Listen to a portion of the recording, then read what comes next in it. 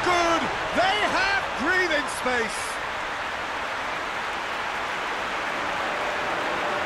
Liverpool are so well practiced in the art of keeping the ball through wonderful passing and movement and a real appetite to ensure it's reflected in their goal count.